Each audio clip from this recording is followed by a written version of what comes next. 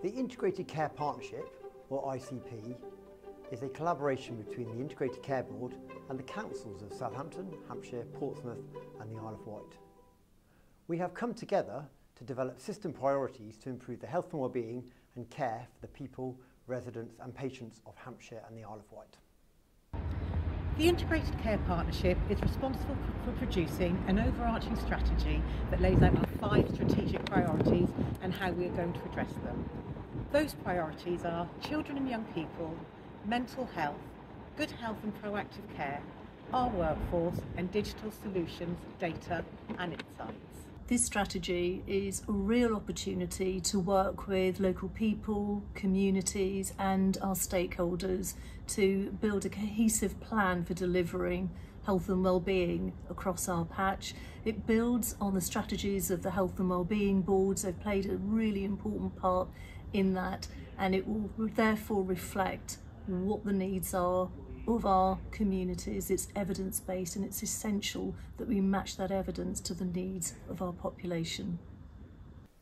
In order to agree our five priorities, we looked at the evidence and the data to really understand our partners' perspectives and the public's priorities. Joint input from partners including health, local authorities, fire and rescue services and the voluntary and community organisations is what brought everything together to decide our priorities across the whole of Hampshire and the Isle of Wight.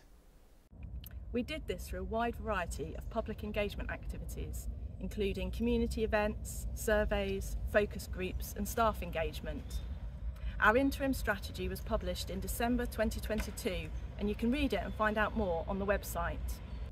Our primary focus is now to deliver against these collective priorities and to work better across the whole system as partners to improve the health, care and well-being of our communities. The ICP Joint Committee will model the behaviours needed to deliver the strategy across the ICS.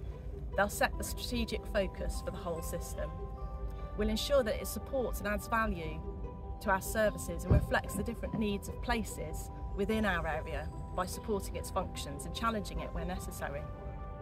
We use our collective resources effectively together to deliver on our strategy, model our system behaviours and develop a culture of sharing and learning Forums and programmes are being formed to support the delivery of the strategy and measure our impact so that we know we're continually moving forward and making a difference.